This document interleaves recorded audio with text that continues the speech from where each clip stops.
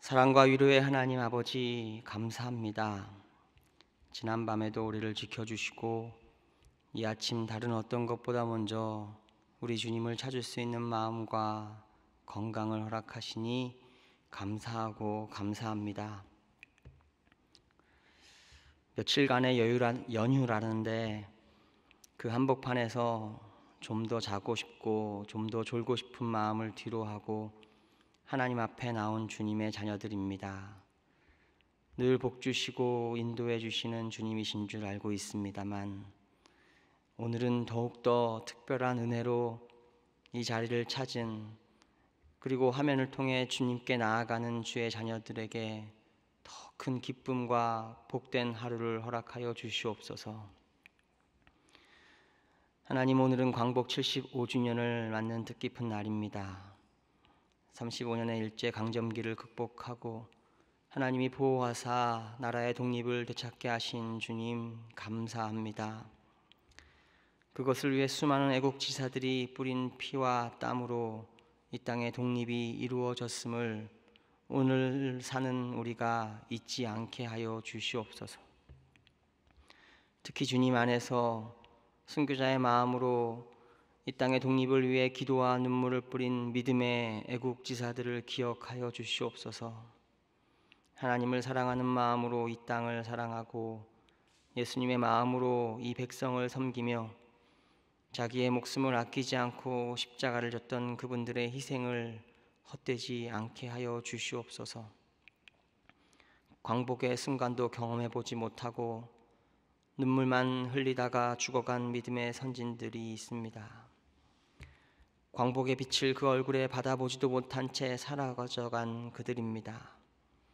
두고 가는 처자식들을 하나님 손에 맡기며 기도하였었겠지요. 주님 그들의 마지막 기도가 이 땅에서 응답되게 하여 주시옵소서. 그들의 자녀손들이 대대손손 믿음의 명문 가정으로 복을 누리며 살게 하여 주시옵소서. 주님 분명히 말씀하셨습니다. 나를 사랑하고 내 계명을 지키는 자에게는 천대까지 은혜를 베푸느니라. 주님의 말씀을 이루어 주시옵소서. 주님 75년 전에 이미 광복이 찾아왔다고는 하지만 이 땅은 여전히 진정한 광복을 이루지 못한 듯 살아가고 있습니다.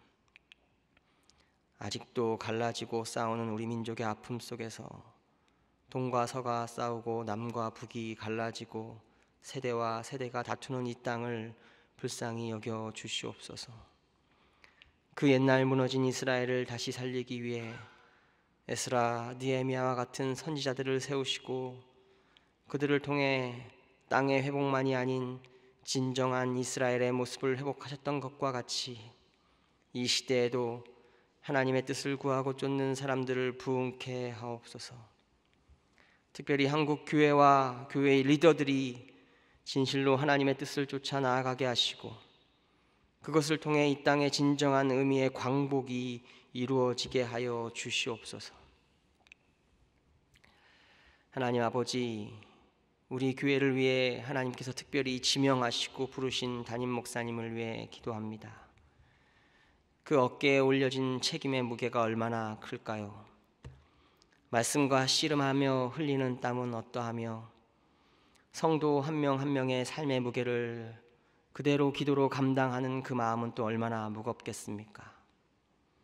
교회가 교회 되도록 하기 위해 우리 교회를 통해 하나님 영광 받도록 하기 위해 애쓰는 모든 과정에서 세상의 질타와 주변의 시선은 또 어찌 그리 매정한지요. 때마다 그 마음을 어지럽히고 심하다 평안을 빼앗아 갑니다.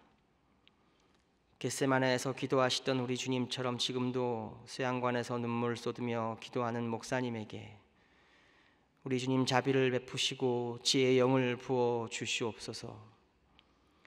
코로나 사태로 인해 모든 것이 생경하고 불안한 이때에 우리 주님께서 한 걸음씩 먼저 앞서 주셔서 하나님 뒤따르는 자가 누리는 평안을 허락하여 주시옵소서. 목사님에게 눈에 보이고 귀에 들리는 은혜로 함께하여 주시옵소서. 우리 교회를 위해 기도합니다. 한국의 대표 교회 리더 교회, 하나님의 특별한 은혜를 받은 교회라고 칭찬을 듣습니다. 심지어 이번 코로나 사태를 겪으면서도 우리 교회는 섬김과 나눔을, 나눔을 그 전보다 더 크게 늘리고 베풀고 있습니다. 주님께서 얼마나 좋아하실까요? 여름 가뭄에 시원한 냉수 한 그릇처럼 우리 주님의 마음을 시원케 하는 교회라고 친히 칭찬하시는 모습이 눈에 그려집니다. 그러나 주님, 그것이 혹여 우리 교회의 교만이 되지 않게 하여 주시옵소서. 한국의 대표 교회라는 타이틀이 저기 시골 허름한 교회보다 더 위에 있는 어떤 교회라고 착각하는 이유가 되지 않게 하여 주시옵소서. 잘 섬기고 돕되 절대 교만하지 않게 하시고 더욱 겸손하고 겸손하여 늘 허리를 숙이는 교회가 되게 하여 주시옵소서. 나아가 믿는 자들에게뿐 아니라 믿지 않는 자들에게 오히려 더욱 큰 칭찬을 듣는 복음의 교회가 되기를 기도합니다. 초신자가 넘치는 교회, 복음이 살아있는 교회, 죄인들이 찾아와 회개의 고백이 넘쳐나는 교회, 그렇게 교회의 본질을 잃지 않는 교회가 되게 하여 주시옵소서. 특별히 젊은 세대가 부흥하는 교회가 되기를 기도합니다. 꺼져가는 심지를 끄지 않는 심정으로 상한 갈대를 꺾지 않는 마음으로 젊은 세대를 위해 이해해주고 품어줄 수 있는 교회가 되게 하여 주시옵소서. 더불어 믿음의 자녀들을 위해 기도합니다. 자녀들이 교회를 떠난다고 합니다. 주님, 손자 손녀가 교회는 가기 싫다고 합니다. 교회의 장로요, 권사요, 집사라 하더라도 아들, 딸 하나 설득할 힘이 없어 한숨만 쉽니다. 주님, 우리 믿음의 선배들이 젊어서부터 주님을 위해 애쓰고 수고한 헌신을 기억하여 주시고 그 자녀들을 축복하시며 하나님의 품에서 놓지 말아 주시옵소서.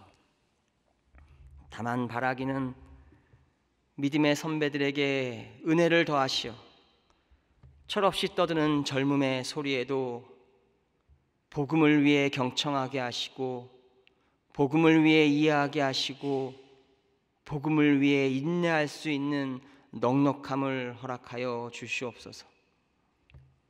주님, 여전히 코로나가 이 세대를 어지럽히고 있습니다.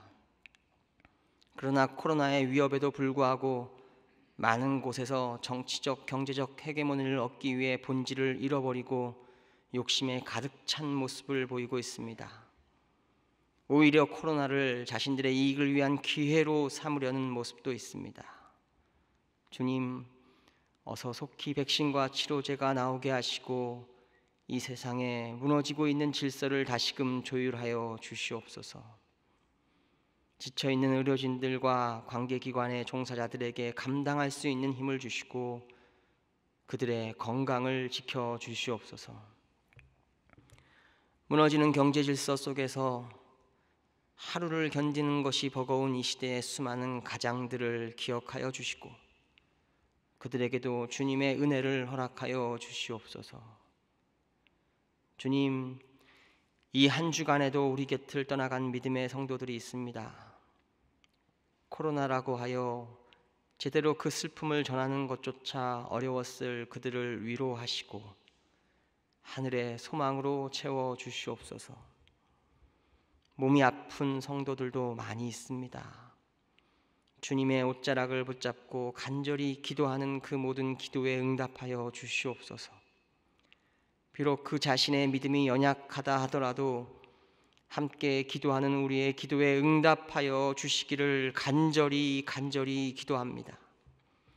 환자 자신의 믿음이 아니라 상을 들쳐매고 달려갔던 친구들의 믿음을 통해서도 응답하시고 치료하신 주님의 은혜를 오늘 이 시간 이곳에도 내려 주시옵소서.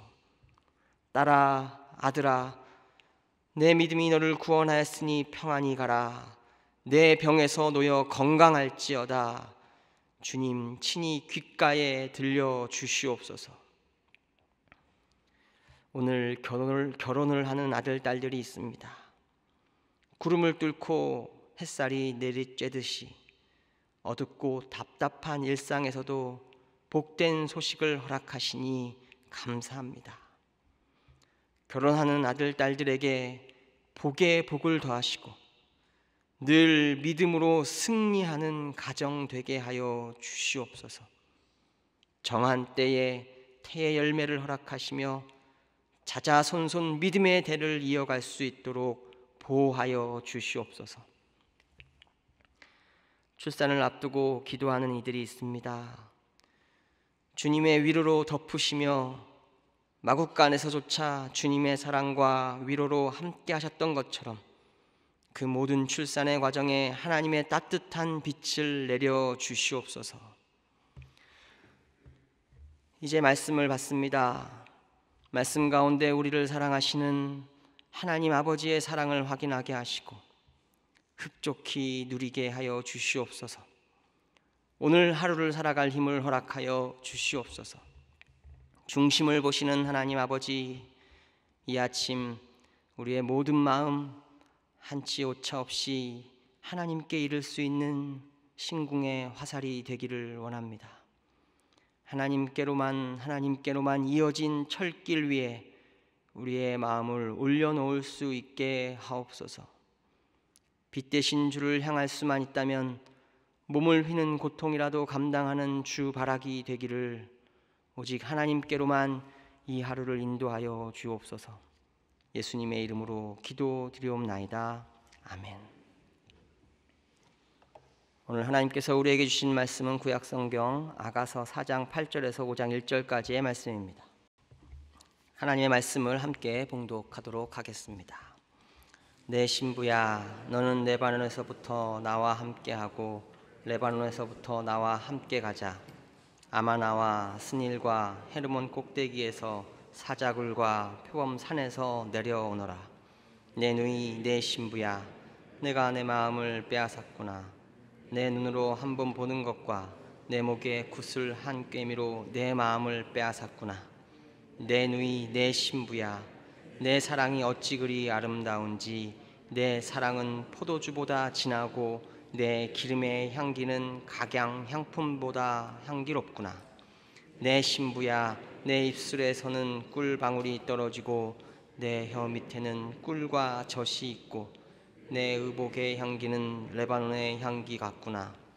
내 누이, 내 신부는 잠근 동산이요 덮은 우물이요 봉한 세미로구나.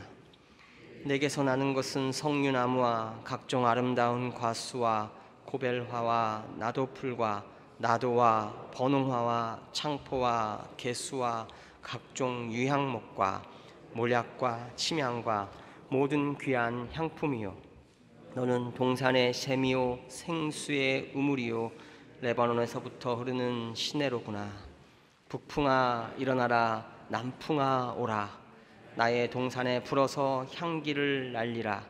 나의 사랑하는 자가 그 동산에 들어가서 그 아름다운 열매 먹기를 원하노라.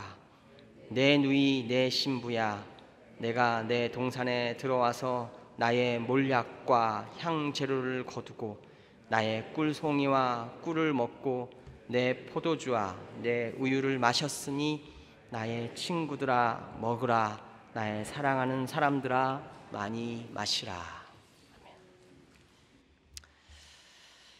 먼저 간략하게 본문의 내용을 요약해 보면 이렇습니다. 어제에 이어 오늘의 말씀 15절까지는 신랑이 신부를 보며 좋아서 어찌할 줄을 몰라 하는 내용입니다. 그중 8절에 표현된 레바논은 지리적으로 실제 레바논이 아니라 신랑과 신부가 있는 곳으로부터 북쪽에 있는 신부의 고향을 의미한다고 보는 본다고 합니다. 즉 이제 결혼을 하였고 신랑에게 온 신부에게 이제는 고향을 떠나 온전히 신랑인 어, 자신의 품에서 안정을 누리며 살 것을 축복하는 내용이 적혀 있습니다. 이어서 9절부터 16절은 신부가 아, 이어서 등장하는 16절 말씀은 신부가 신랑을 향해 응답하는 내용인데요. 어, 시련과 고난을 의미하는 북풍과 복과 형통을 의미하는 남풍을 묘사함으로써 늘 한결같은 부부의 사랑을 고백하고 있다고 보여집니다. 우리로 따지면 검은 머리 팥불이 되도록 함께 하겠습니다 하는 신부의 고백 정도라고 보시면 될 것 같습니다. 그리고 오늘 본문의 마지막 5장 1절에서 다시 신랑은 자신의 혼인 잔치에 찾아온 친구들에게 자신이 누리고 있는 기쁨을 너희들도 한번 누려보라며 이런 사랑을 너희도 한번 해보라며 자랑 같은 겉면을 전하고 있습니다. 오늘의 말씀을 통해 저는 세 가지 대지로 함께 은혜를 나누고 싶습니다. 첫째는 하나님의 사랑은 아버지, 어머니의 사랑이면서 동시에 연인의 사랑이라는 점입니다. 이것은 그동안 다른 목사님들의 설교와 많은 부분 중복이 될 것 같습니다. 다만 오늘은 사랑받고 싶어 하시는 하나님의 입장에서 좀 더 깊이 생각해 봤으면 좋겠습니다. 무슨 말인가요? 우리가 연인의 사랑으로 우리 주님을 대할 수 있다는 것은 한편으로는 우리 주님이 우리로 하여금 연인의 사랑을 받고 싶어 하신다는 것을 의미합니다. 하나님 사랑의 대표적 비유는 아버지의 사랑입니다. 그런데 아버지의 사랑과 연인 간의 사랑의 가장 큰 차이점은 바로 일방향이냐 쌍방향이냐 하는 점입니다. 물론 부모 자식 간에도 쌍방향의 사랑이지요. 다만 그 방점이 어디에 찍혀 있느냐를 묻고 있는 것입니다. 연인 간의 사랑은 결코 주고 마는 사랑이 아닙니다. 오히려 받기를 더 원하는 사랑이죠. 바로 이 점이 연인 간의 사랑과 아버지의 사랑이 가장 큰 차이인 것 같습니다.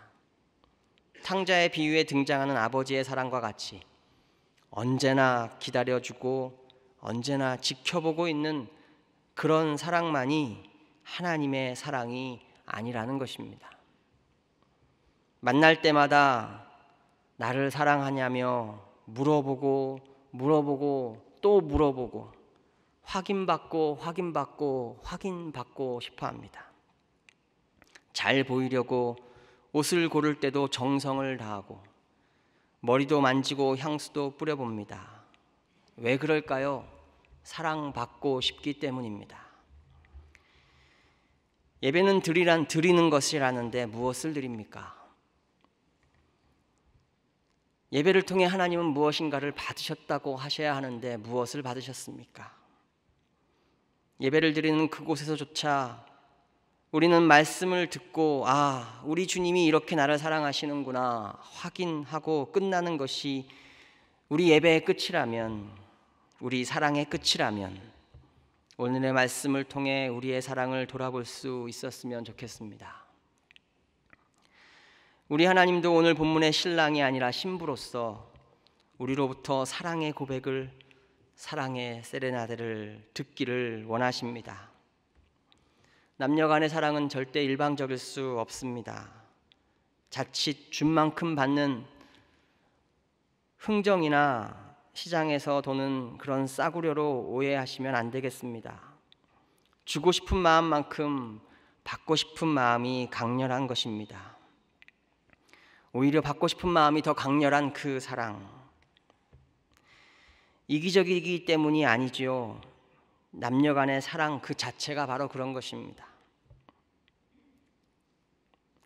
연인 간의 사랑받고 싶어 하고 사랑을 확인하고 싶어 하는 모습을 이기적이라고 표현하지는 않지 않습니까? 우리 주님도 사랑을 받고 싶어 하십니다. 확인하고 싶어 하십니다. 요한의 아들 시몬아 네가 나를 사랑하느냐? 오늘 이 아침에 우리의 피로와 강구, 우리의 어둠과 근심, 걱정을 아뢰기 이전에 주님을 향한 사랑의 고백을 달콤하게 속삭이며 기도를 시작하는 것은 어떨까요?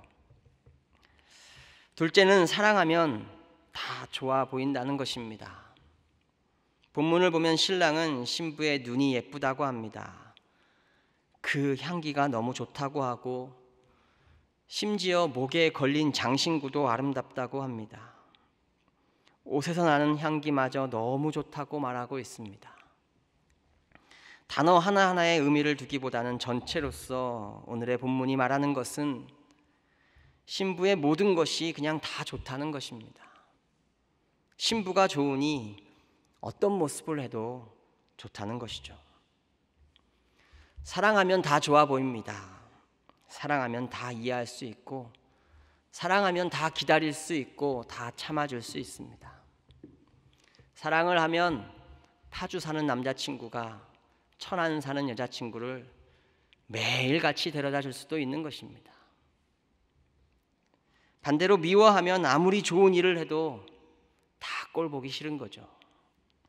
아무리 옳은 말을 해도 싫어하는 겁니다. 아니, 오히려 내가 싫어하는 그 사람이 옳은 말을 하기 때문에 더 싫어질 수 있는 거죠. 앞서서도 인용하였지만 예수님께서 믿음을 지키지도 사명을 받잡지도 못하고 낙항하여 다시 그물질하는 베드로에게 나타나서 하신 말씀은 이제는 잘 믿을 수 있느냐, 이제는 더 이상 나를 배신하지 않을 수 있느냐 하는 것이 아니었습니다. 좌절하고 실패한 베드로에게 하신 말씀은 요한의 아들 시모나, 네가 나를 사랑하느냐였습니다. 사랑을 물으십니다.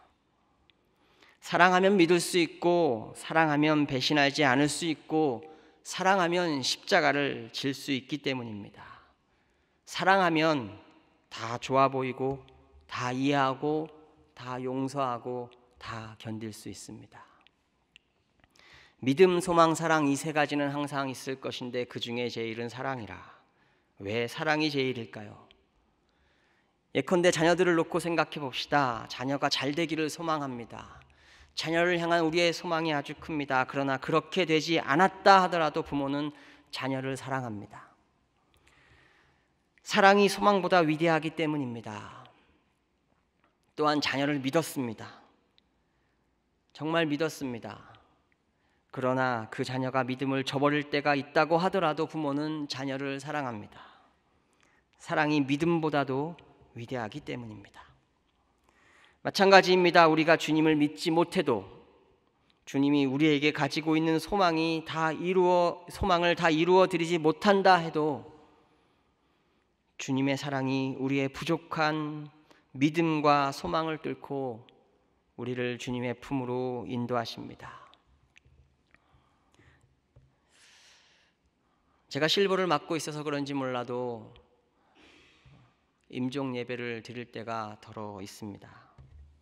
그 임종 예배 직전 단 한 번의 신앙 고백과 단 한 번의 세례만으로도 그를 하나님을 믿는 신자라고 성도라고 부르기를 주저하지 않을 수 있는 이유가 여기에 있습니다. 믿음보다 소망보다 우리 하나님의 사랑이 위대합니다. 세상의 모든 관계가 우리가 사랑을 구해야 하는 이유입니다. 능력을 구하기 전에 먼저 사랑을 구해야 하겠습니다. 기회를 구하기 전에 사랑을 구하고 물질을 구하기 전에 사랑을 구한다면 결국 우리에게 하나님의 은혜가 임하게 될 줄 믿습니다. 요한의 아들 시몬아 네가 나를 사랑하느냐?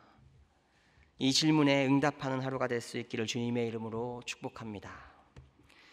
마지막으로 세 번째는 사랑하면 전하게 된다는 것입니다. 5장 1절 후반절은 친구들을 향한 권유입니다. 초청이라고 해야 할까요?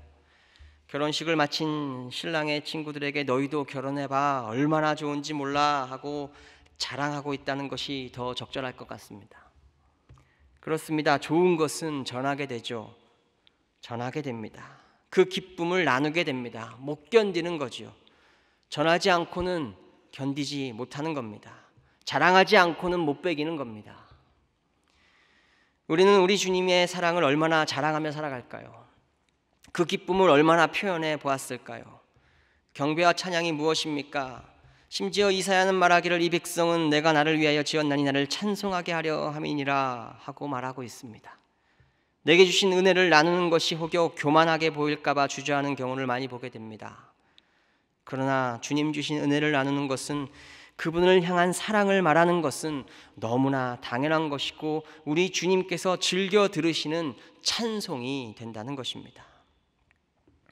전도가 무엇일까요? 전도지를 돌리고 사역 일을 하는 것도 물론 훌륭한 아주 아주 훌륭한 전도입니다. 그러나 우리 중에 전도되어 오신 분들이 계시다면 과연 그 중에 몇 분이나 전도지를 통해 사역리를 통해 교회를 찾아왔을까요? 아마 대부분 전도되어 오신 분들은 전도자들의 삶의 모습을 통해 감명을 받았기 때문일 것입니다. 그들이 고백하는 하나님께 받은 그 사랑 때문일 것입니다.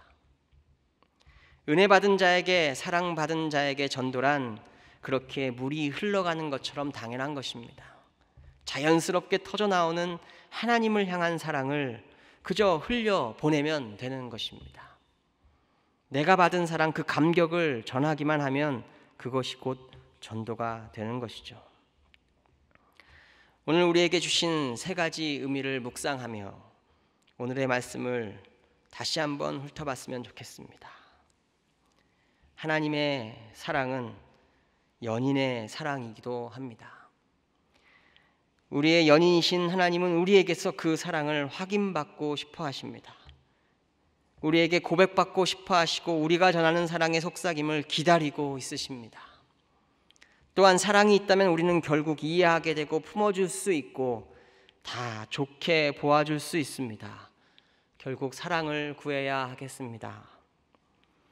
그렇게 드린 사랑, 그렇게 받은 사랑을 그대로 전하는 삶으로 우리의 삶을 더욱 복되고 윤택하게 만들어 갈 수 있습니다. 이 세 가지 말씀을 기억하며 아무쪼록 하나님께 사랑받고 전하고 무엇보다 부족하나마 우리의 사랑을 하나님께 드릴 수 있는 이 하루가 될 수 있기를 주님의 이름으로 축원합니다. 기도하겠습니다. 하늘에 계신 우리 아버지 아버지의 이름을 거룩하게 하시며 아버지의 나라가 오게 하시며 아버지의 뜻이 하늘에서와 같이 땅에서도 이루어지게 하소서. 오늘 우리에게 일용할 양식을 주시고 우리가 우리에게 잘못한 사람을 용서하여 준 것 같이 우리 죄를 용서하여 주시고 우리를 시험에 빠지지 않게 하시고 악에서 구하소서. 나라와 권능과 영광이 영원히 아버지의 것입니다. 아멘.